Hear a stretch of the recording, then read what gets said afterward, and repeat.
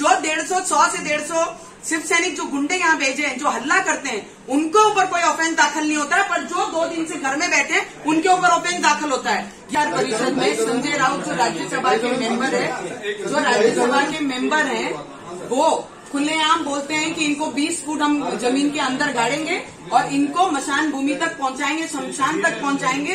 ये खुला आवाम और धमकी, ये लोग हमको देते हैं तो इनके कोई कार्रवाई महाराष्ट्र में हो नहीं रही है। पर हमारे ऊपर जो 149 धारा का जो नोटिस हमको दिया है, उसके बावजूद हमने एक भी पैर घर के बाहर रखा नहीं। पर हमारे ऊपर कार्रवाई हो रही है, हमारे ऊपर गुना दाखिल हो रहा है और ये तरीके से पुलिस डिपार्टमेंट घर में घुसती है और धमकी देती है और यहाँ से लेके जाके पुलिस स्टेशन में जो हमारे ऊपर ओफेंस दाखिल हुआ है और खींच के लेके जाएँगे। इस तरीके की भाषा के पुलिस डिपार्टमेंट यहाँ करती है।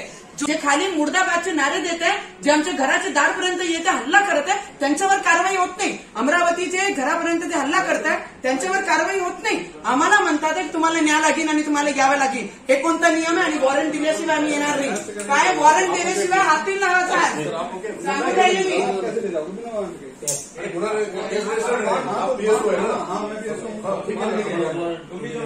है हमारा लेकर ना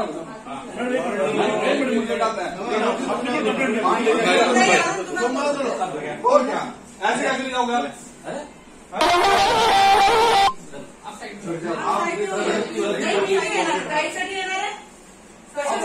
वॉरंट आला वॉरंट आल्यानंतर वॉरंट आला वॉरंट आल्यानंतर मी काँग्रेस केलाय तुम्ही येऊ नका तुम्ही महिला तुमची रिस्पेक्ट करते तुमचं मान सन्मान करते येऊ नका आम्ही कॉम्प्लेंटच केला कालपासून आमची पण कंप्लेंट आमची आमची कंप्लेंट घ्या ना अशा पद्धतीनं आमच्या अशा पद्धतीने जर तुम्ही व्यवहार केला दादा